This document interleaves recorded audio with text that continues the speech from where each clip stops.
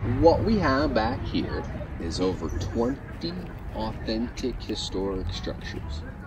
Uh, the oldest of which dates back to circa 1850, pre-Civil War.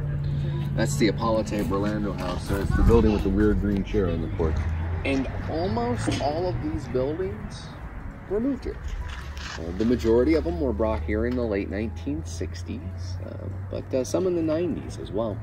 And it was done in an effort to save and preserve them. Uh, they were brought from all over the Kern River Valley, nothing further away than about seven miles or so, so super local. Uh, from uh, small mining towns and mining camps with names like Keysville, Claraville, Whiskey Flat, uh, places like Hot Springs, Miracle, South Fork, and Isabella.